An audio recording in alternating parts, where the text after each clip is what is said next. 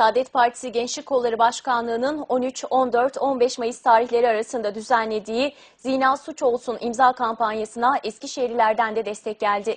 Eskişehir'deki birçok vatandaş zinanın suç olarak kabul edilmesiyle toplum düzeninin daha sağlıklı olacağını düşünüyor. İşte Eskişehir'de vatandaşların zinayla ilgili görüşleri.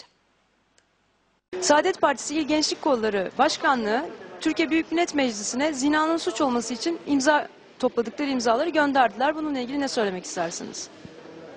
Çok doğru bir karar. Destekliyorum ben de imzaladım zaten onu. Evet.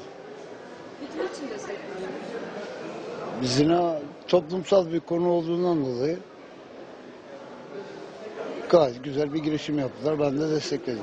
Neyle uğraşacaklarını şaşırdılar. Bilemiyorum yani ne söyleyeyim. Bence başka şeylerle uğraşalım. Hı? O kadar çok sorunumuz varken hani geçim şeyle sıkıntısıyla uğraşırken bence bu gereksiz. Gereklidir mutlaka bazı kişiler için de benim için gereksiz. Hiçbir fikrim yok. Siyasete biraz uzağım. Siyas Yani zinanın suç olması konusunda ne düşünüyorsunuz peki? Sizce olmalı mı olmamalı mı? e tabii ki olmamalı. Ama bunun önüne geçemezsin. Çünkü gençlik fıkır fıkır kaynayan bir jenerasyon. Yani ne kadar partilerle de kanunlarla da bunun önüne geçmek isteseniz de bunlar saklı yollardan hep yapılacaktır. Şimdiye kadar da yapıldı. Dünyanın düzeni böyleydi. E, suçu olsun tabii canım. Onu suç olarak bildirsinler. İyi bir şey mi? Aslında Neden suç olmasını istiyorsunuz? Yani istenmeyen bir şey bence iyi mi? Zina. Aslında isteyerek de yapıyorlar onu gerçi ama Bence suç olmalı. Yani bence yasak. Neden? Dinimizce yasak. E, medeni kanunumuza göre de yasak. Evlilik dışı bir ilişki. Onun için bence suç olmalı. Vallahi abla ne söyleyeyim ya. Onu demek ki öyle görüyorlar öyle oluyor.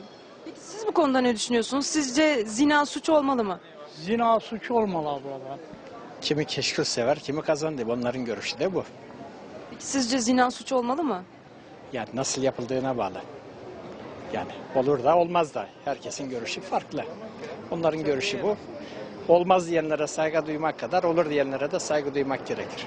E tabii olmalı yani. Kapalı bir toplumda yaşıyoruz. Daha iyi olur. Olmalı tabii. Neden olmalı peki? Ya kimse kimsenin şeyine te- e, hakkı var mı böyle bir şey yapmaya? Zina zaten dinimizde de suç. Evet. insanlık içinde suç.